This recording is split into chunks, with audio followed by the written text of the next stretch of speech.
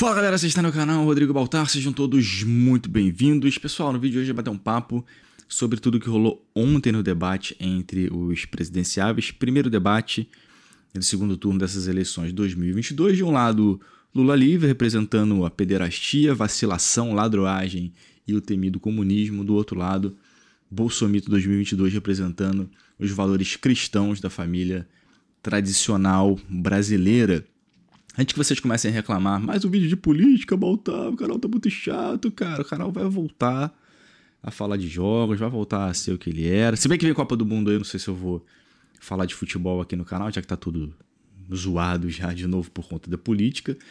Mas segue aí, se inscreve no canal porque a gente continue crescendo. Hoje eu volto a fazer live também à noite, que eu tô com. Continuo com problema no ouvido, né? Agora eu tô com uma otite. E amanhã provavelmente a gente vai começar a saga do novo Plague Tale. Então, segue aí nas redes sociais, segue na Twitch, no Instagram, que eu perdi uma porrada de seguidor no Instagram, né? No Instagram você não pode ficar feliz que as pessoas deixem de seguir. E agora aprendi também que você não pode postar nada sobre política, que as pessoas também ficam com raiva. Além de te xingar na mensagem privada, elas deixam de te seguir. Então segue aí nas redes sociais para ajudar. Ah, e lembrando que o AliExpress continua em promoção, hein, cara? A gente tá deixando aí no grupo do Telegram várias promoções e também tô colocando na comunidade aqui do YouTube. Mas é importante que você entre no grupo do Telegram, acesse a nossa planilha, porque tem muita coisa lá com preço bacana. Bom, eu não consegui acompanhar o debate ao vivo, né? Queria ter acompanhado com vocês, até postei lá no Twitter é, se a galera queria que eu acompanhasse depois, né? Mas falei, ah, não vai ter, não vai ter muita graça e tal, não vai encher, a galera já, já assistiu, não vai ter paciência de assistir duas vezes. Eu ontem fiz sete anos de namoro, né, cara? Então a gente foi é, comemorar. E quando eu cheguei em casa foi meia-noite, assim, e já tinha acabado o debate. E eu peguei minha pipoquinha, claro, para poder assistir o debate. Antes de a gente começar a falar sobre o debate, cara, é, rolou aí na, no sábado, se não me engano foi sábado, o lance do Bolsonaro pedófilo, né? O Bolsonaro, ele tem uma capacidade incrível incrível de falar merdas estratosféricas que você fica assim, caralho, cara, olha, por mais que você saiba da intenção do cara, é muito chato você ter que ficar toda hora vindo aqui e falar assim, passar pano na cabeça, né? Falar, porra, cara, olha só, o cara falou merda, porra, não era isso, porra, teve uma live. Mas, tipo assim, as pessoas sabem que isso daí é mentira, né? E mesmo assim, elas vão usar aquilo ali contra ele. Sempre foi assim. Né? Sempre foi assim. E não é só contra o Bolsonaro, não. Né? O pessoal da esquerda eles fazem isso com, quando eles querem acabar com a reputação de alguém, eles fazem isso. Né? Por exemplo, quando aconteceu lá o lance do Monark, o Monark estava falando uma merda federal. Aí Neu começou a imputar no Monark que ele era é, nazista, né? Já imputaram também que era racista, já imputaram lá no Tiff que o Tiff era racista. Eles sempre estão querendo é, acusar as pessoas das coisas mais bizarras e perversas que tudo na cabeça, tudo no mundo deles gira em torno dessas porra, né? Racismo, é, homofobia, é, pedofilia, tudo, parece que tudo na cabeça da esquerda gira em torno disso. E o Bolsonaro, nessas últimas semanas, ele já foi acusado de uma porrada de coisa, né? miliciano, assassino, rachador, rachador, ok né? Mas miliciano e assassino é foda, genocida. É, o cara taca fogo na Amazônia. É, agora, canibal, né? O cara, porra, é incrível também. É muito, é muito complicado. Que o cara fala merda pra caralho. O cara falou com todas as letras que ele ia comer a porra do índio, né? E também é pica, né? O cara ter falado essa porra. Eu acredito que ele não comeria a porra do índio. Eu acredito que não comeria. Se bem que militar é pica, né? Mas ele falou lá com todas as letras: porra, eu comeria o índio, é a cultura deles. A esquerda, ela vive defendendo, né? Não, porque, porque tem que preservar a cultura indígena, a cultura do país, os índios, o Brasil pertence aos índios e blá blá blá.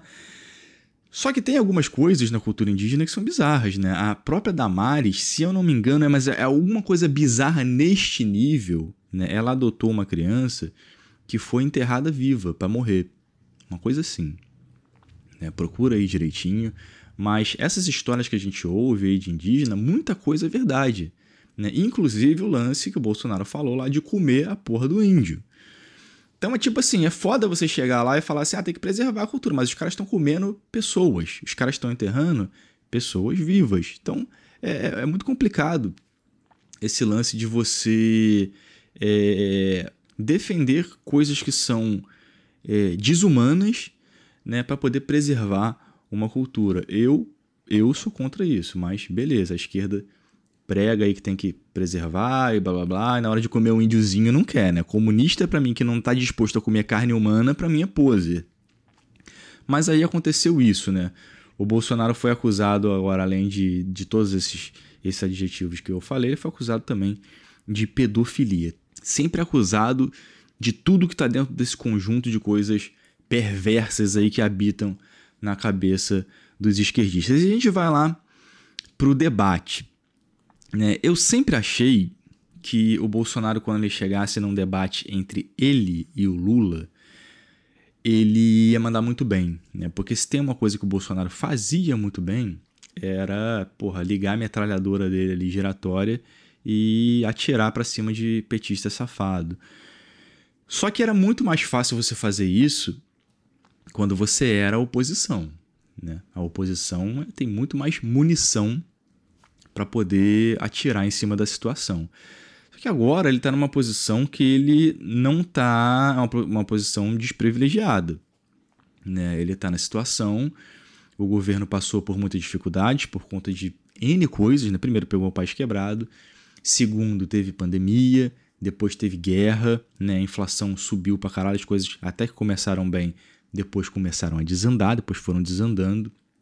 E é óbvio que todo mundo que tivesse ali contra o Bolsonaro teria muito mais coisas para falar dele, né? teria muito mais munição para poder atacar do que ele, né, para se defender.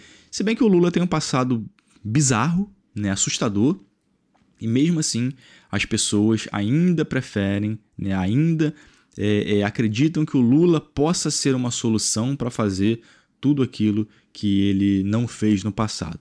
O Brasil cresceu muito no período do Lula, já falei isso aqui. A gente sentiu muita coisa na pele, as coisas realmente melhoraram, mas o mundo inteiro melhorou, né? Inclusive os países emergentes, até a Argentina, se eu não me engano, naquela época, acabou crescendo mais do que o Brasil. Para a gente aqui que é do Rio de Janeiro, a gente viu muitas melhoras, porque teve Olimpíada, né, teve Copa do Mundo. Então as coisas melhoraram aqui, mas logo depois que acabou a Olimpíada, a Copa do Mundo, foi ladeira abaixo. E o Lula, ele é, como diz lá o, o Ciro Games, né, o candidato mais preparado com 526 terabytes de encryption, ele, cara, ele tem uma eloquência bizarra, ele é o político profissional, né? Retórica impecável, é o verdadeiro encantador de serpente.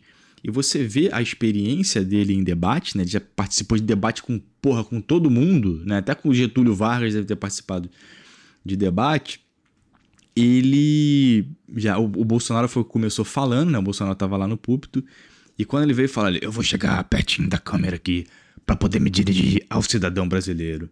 Vocês vão voltar a comer picanha no meu governo. Então ele já chega perto para poder persuadir a, a audiência, né? E você percebe que a forma com que ele fala, a forma com que ele joga números, a forma como ele diz que fez coisas que ele não fez, é, apresenta ele como um cara mais qualificado para o cargo do que o Bolsonaro. E o Bolsonaro, é, quando ele tenta ser político, é uma pirca, cara. É horrível. E eu achei que o Bolsonaro mandou mal a maior parte do debate. No início, principalmente, ele mandou muito mal, sempre focando ali, querendo acenar para o Nordeste, como sempre, que ele não tem votação lá no Nordeste, não adianta, mas ele quer acenar para o povo do Nordeste, focando ali sempre naquela porra de Auxílio Brasil, Auxílio Brasil, nós cuidamos dos pobres, o Lula não cuidou dos pobres, aí ele vem aquela porra, Lula, pare de mentir, você mente muito. Caralho, sendo que ele poderia rebater e argumentar as coisas que o Lula falava de inúmeras formas, né? Você vê que existe um, um, eu não vou dizer que é um despreparo, né? Porque o presidente ele tem várias pessoas ali assessorando ele, mas você vê a falta de experiência em debate. O Bolsonaro tinha muita experiência em discursar, mas na hora de fazer debate, né, os primeiros debates que ele participou foram os do, do de 2018. Né? E o Lula não, o Lula é cascudo, filho. Lula é cascudo, Lula discursa em, em universidade, faz, dá palestra, né? O Lula faz isso tudo e o Bolsonaro não. Então, é, num embate ali entre os dois, né, o Lula pareceu muito mais qualificado, muito mais preparado, embora a gente saiba das reais intenções. O Bolsonaro coloca as perguntas de uma forma muito vazia, argumenta é, de uma forma muito vazia e para mim o Lula acabou se saindo muito melhor do que o Bolsonaro e isso é perigoso porque o Lula ele já venceu é, o primeiro turno né, com 6 milhões de votos de diferença a Simone Tebet e se, sempre assim né eles brigam ali no, no, no, no primeiro turno todos eles brigam entre si e no segundo turno todos eles se juntam do pior lado possível né? todos eles se juntam do pior lado, e eu sabia que não ia ser diferente. O Ciro, então, toda eleição é a mesma coisa. Mete o pau no Lula, depois vai lá com a cara mais lavada do mundo apoiar o cara. É, eu acho que o Bolsonaro já tinha que começar o, o, o, o debate, cara, falando assim: olha, primeira coisa que as pessoas deveriam saber: o Lula não deveria estar participando do debate. Né? O que está acontecendo aqui é o, o maior golpe que aconteceu na história do Brasil. O STF simplesmente descondenou o Lula porque eles ficaram com medo do Bolsonaro. É, a verdade é essa. Não tinha ninguém que pudesse tirar o Bolsonaro do poder, não tinha ninguém. A eleição ao 2018, 2022 era do Bolsonaro. Né? O STF decidiu soltar o Lula, porque se não fosse o Lula, a gente ia ter certo mais quatro anos de Bolsonaro. Agora, por quê? Será que o STF acredita realmente que o Bolsonaro pretende dar um golpe na República, que o Bolsonaro vai fechar o Congresso, que o Bolsonaro vai desmantelar, é, acabar com o STF? Será que eles acreditam realmente nisso?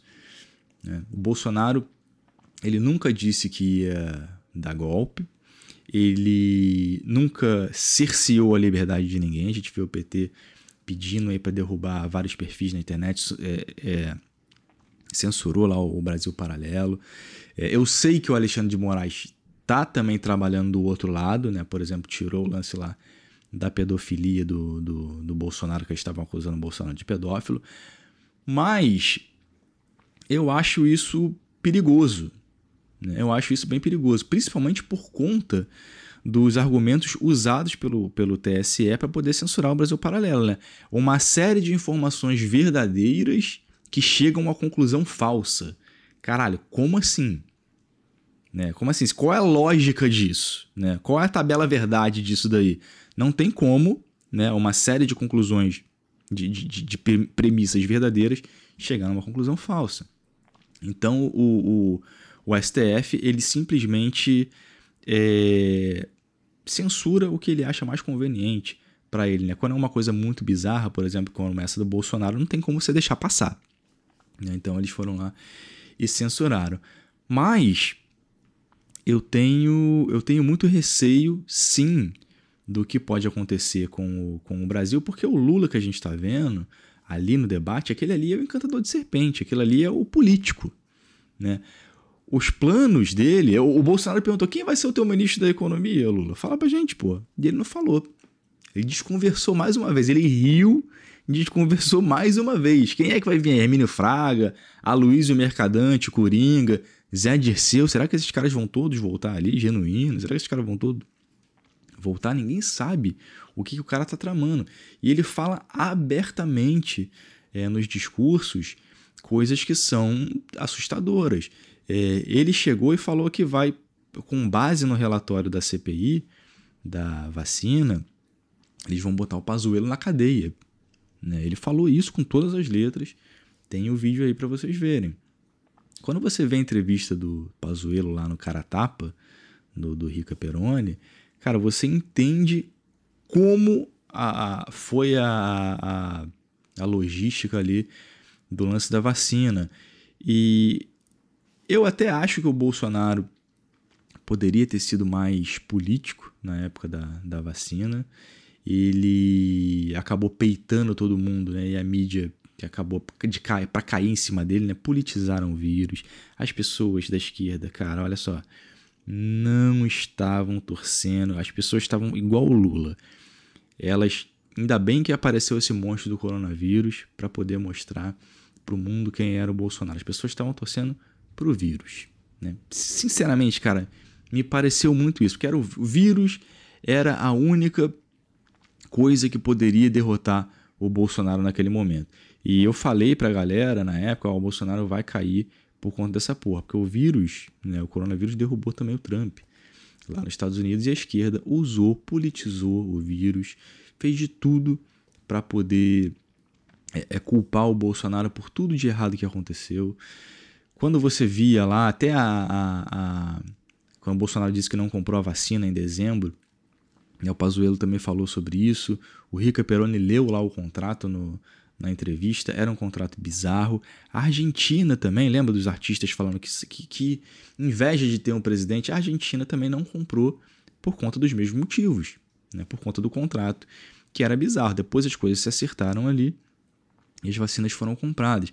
Mas eu acho que faltou sim é, do Bolsonaro uma certa empatia com tudo que estava acontecendo. Né? Talvez o cara não tenha empatia mesmo, seja maluco, seja psicopata, não sei.